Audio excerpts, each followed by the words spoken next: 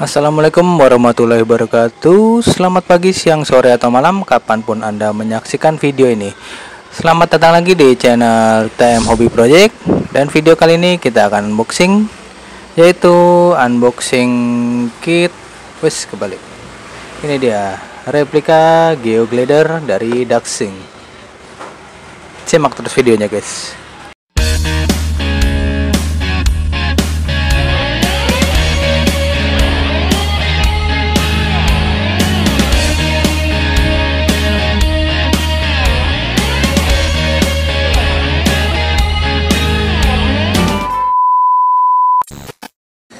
Apa yang ada dalam pikiran teman-teman saat mendengar kata geoglider? Kalau saya sendiri ya langsung terpikir tentang sugar glider yaitu si tupai terbang. Namun setelah saya lihat-lihat desain itu memang mirip sih dengan sugar glider ya. Ini seperti kepak sayap antara kaki depan dan kaki belakang dari sugar glider. Oke. Kenapa saya pilih kit ini? Ini sebenarnya awalnya nggak sengaja saya lihat di Instagram postingan dari Minim 4WD luar negeri sih kayaknya sih ya. Nah itu kok kit apa ya? Akhirnya saya cari info ternyata itu adalah Geoglider dan itu cuma ada versi Tamiya-nya. Nah memang akhir-akhir ini mulai dari akhir tahun 2003 kemarin dunia Minim 4WD replika ini makin panas. Banyak kit-kit yang belum pernah dibikin versi replika akhirnya dibikin salah satunya ya ini Geoglider ini. Dan beberapa kit lain seperti Magnum dan Sonic Bison itu ya tipe apa saya lupa itu. Dan di versi Tamiya original sendiri Geoglider itu ada yang standar yang warna bodinya putih dengan sasis warna hitam dan yang black special seperti ini dan untuk versi replika sendiri, Geoglider itu ada produksi Daxing dan ada juga yang produksi Jepin. Cuma setelah saya bandingkan antara Jepin dan Daxing, untuk desainnya lebih mirip Daxing. Ditambah lagi harganya tuh lebih miring. Jadi saya pilih Daxing ini karena saya juga udah pernah beli beberapa kit yang Daxing. Uh, itu asik sih termasuknya. Dia untuk detailnya mirip banget. Dan untuk bodinya sendiri nih kalau dilihat dari gambar itu sih transparan. Oke nanti kita buka aja untuk detail partnya kita cek setelah kita unboxing. Oh iya untuk teman-teman yang baru main Mini 4WD mungkin banyak yang penasaran. Ini alas untuk apa? Kok banyak yang pakai alas seperti ini? Ini tuh sebenarnya cutting mat. Dan ini nggak wajib sih untuk buat pemain Mini 4WD Ini sebenarnya buat uh, cutter Cutting-cutting ya saya, Karena saya dulu main airbrush itu perlu buat cutting isolasi kertas, cutting stiker itu saya makainya di atas alas cutting mat ini. Jadi sebenarnya untuk Mini 4WD itu nggak terlalu wajib karena nggak banyak part yang perlu di cutting kecuali main custom body ya atau main repaint body Mini 4WD ya. E, lalu alat apa lagi yang sebenarnya perlu untuk merakit Mini 4WD? Buat yang paling pemula, paling utama kita tuh perlu ini e, obeng plus. Ini untuk pemasangan roller dan kita bisa pakai antara ini.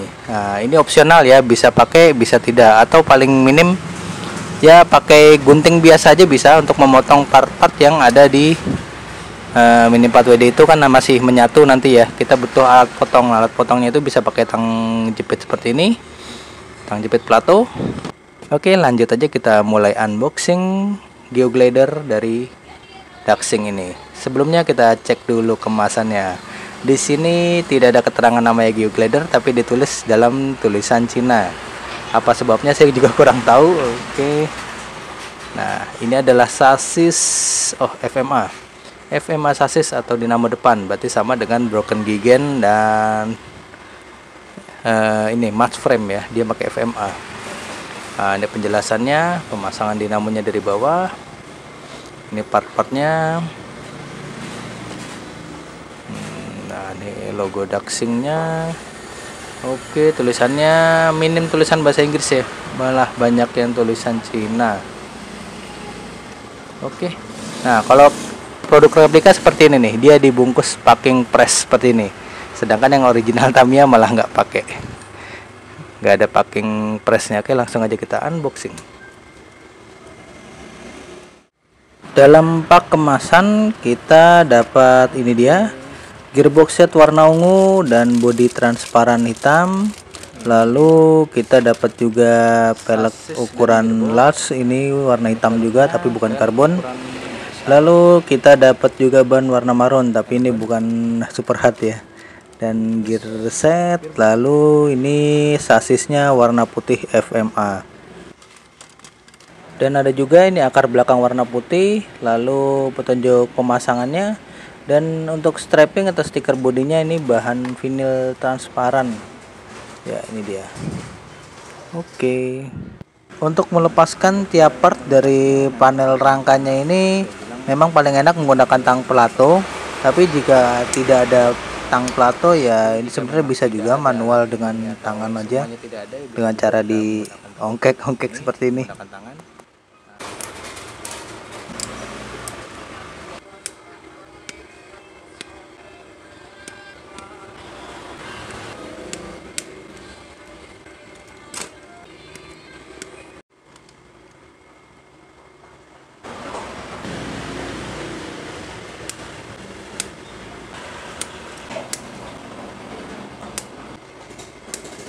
Setelah semua part ABS yang terpotong, kita siapkan juga part lainnya, terminal, gear set, e, dan baut, propeller shaft, dinamo. Ya kita pasang mulai dari busing atau mata ikan. Untuk lanjutnya dipasangkan shaft atau as, as roda.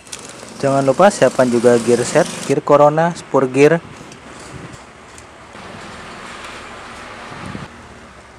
Ternyata Geoglider mempunyai empat ukuran roda yang sama, jadi velgnya tidak masalah dipasang di depan atau di belakang jadi depan dan belakang. Oke untuk bagian pelek sudah terpasang. Tinggal kita pasang bannya. Bannya warnanya marun tapi ini tidak sama seperti ban mat frame ya. Karena peleknya sendiri kita pakai geoglider itu pelek ukuran large ya besar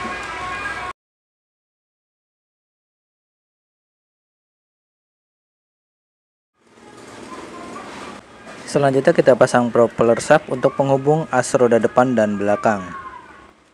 Nah, sekedar info aja untuk dinamo atau motor bawaan Daxing ini kalau untuk main di lintasan tidak saya sarankan ya karena untuk kit standar atau STB Daxing dinamonya itu lumayan kenceng ini di atas uh, tune series.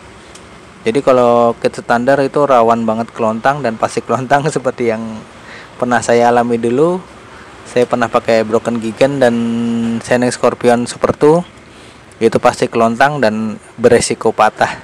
Jadi kalau sekedar untuk dipajang sih nggak masalah pasang aja dinamonya. Tapi kalau untuk main di lintasan mendingan pakai dinamo standar ME, eh, SMC atau Mabuchi ya standar Tamiya yang jangan lupa oleskan grease untuk gear ratio jika ada yang kualitas lebih bagus bisa atau minimal pakai yang standar bawaan kit aja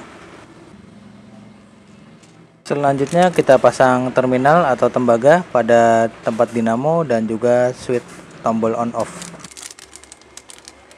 Selanjutnya siapkan pinion gear dan mur atau baut untuk roller.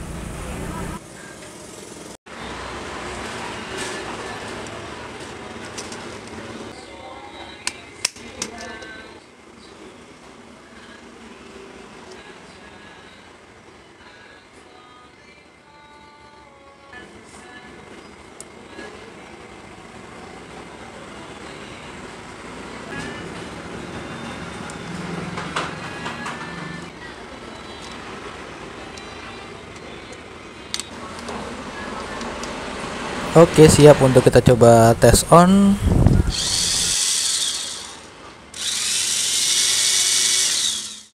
Oke partnya sudah terpasang tinggal bagian roller dan strapping bodinya. Nah ini dia roller ini wajib pakai obeng. Beda dengan part yang lain bisa kita pasang dengan tangan saja. Dan ini yang spesial dari FMA yaitu roller galon atau model silinder ini biasanya jadi incaran juga untuk yang main STB crossbox ya. STCB nah untuk stiker body vinilnya ini kita dapat yang vinil transparan ya. Jadi butuh sedikit ekstra ini masangnya ekstra hati-hati. Karena vinil transparan gini kalau kita nggak pas atau kotor itu kelihatan banget ini vinilnya vinil transparan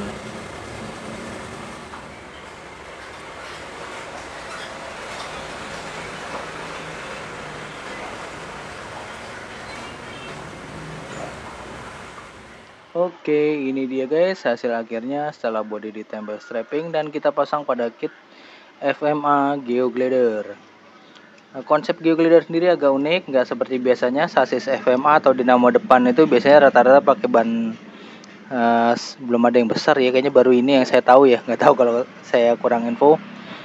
Uh, jadi seperti Tamiya Tamiya Street menggunakan pelek ukuran lebar dan bannya yang cenderung bulat, jadi nggak rata ya. Cukup unik dan kenapa saya pilih Daxing? Dari segi tampilan Daxing ini dengan harga yang cuma seperlima ya mungkin ya. Seperlima dari harga aslinya Geoglider yang Black Special ini di kisaran 300 sampai 400 ribu ini cuma sekitar 85 sampai 100 ribuan aja.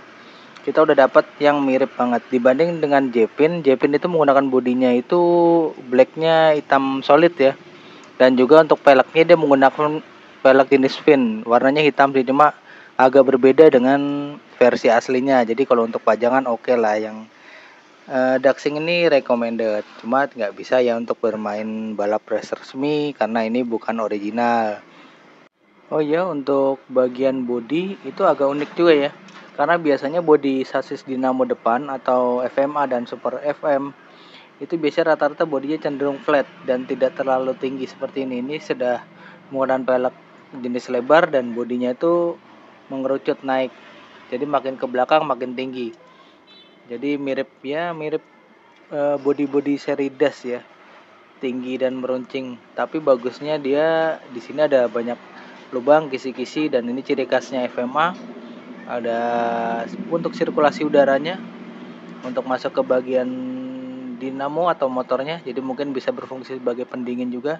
Juga kisi-kisi di samping ini untuk jalur di baterai jadi aerodinamisnya FMA memang sangat diperhatikan ya ditambah lagi body geoglider yang enggak seperti biasanya Oke, sampai di sini dulu video kali ini tentang rakit dan review geoglider dari Daxing. Semoga video ini bermanfaat. Jangan lupa like, share, dan subscribe-nya. Dan bila ada pertanyaan atau kritik, silahkan tulis di kolom komentar ya. Sampai jumpa lagi di video-video berikutnya. Tetap di TM Hobby Project. Sampai jumpa. Wassalamualaikum warahmatullahi wabarakatuh.